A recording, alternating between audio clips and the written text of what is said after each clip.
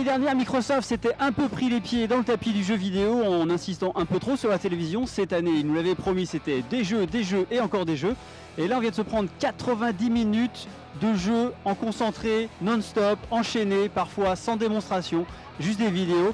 Et il faut dire que cette pré-conférence E3 de Microsoft est absolument euh, bluffante, on va dire, au sens où on est resté assis comme des ronds de flanc à se demander ce qui se passait.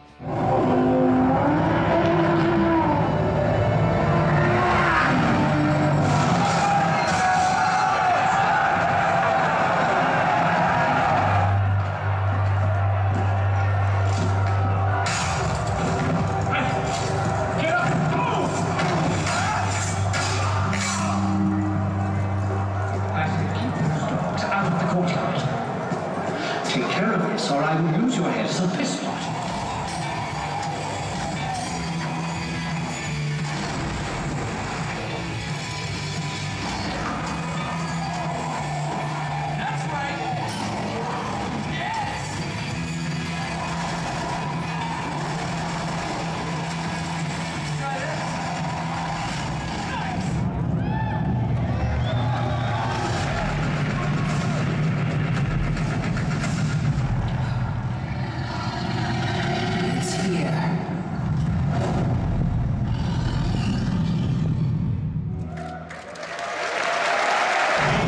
he's a lot better than I am.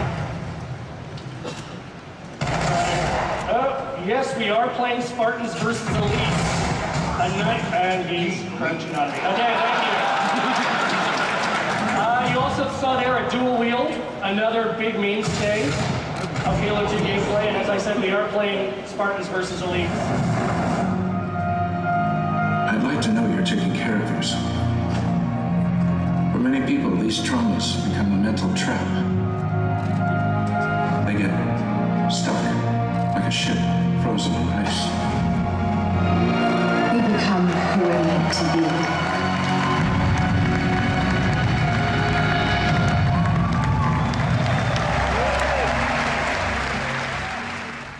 Y a eu tellement de jeux présentés pendant ces 90 minutes que c'est assez difficile d'en faire sortir certains. Ce qu'on retient dans le message, c'est que beaucoup d'exclus sont réservés à la Xbox One, beaucoup de DLC, c'est-à-dire des contenus téléchargeables pour ces jeux, seront en priorité réservés à la Xbox One. Et donc Microsoft investit, investit dans le jeu et va continuer à faire de la Xbox ce qui espère être la meilleure plateforme. Donc là, c'est la première conférence de, de la journée. On va voir ce que vont donner les autres. Mais effectivement, là, on a une impression de bourrage de crâne presque désagréable, avec des tonnes de jeux. Certains émergent un tout petit peu. Il y a le nouveau Call of Duty, Advanced Warfare, qui, a un petit côté un peu impressionnant, euh, comme c'est si bien le faire la licence. Il y a des côtés un peu plus fun, comme euh, Sunset Overdrive, avec ce côté très comique et très fun. Et puis, le- pour le reste, il y a eu plein de jeux impressionnants, mais juste sortir de la conférence, difficile de faire la part des choses encore.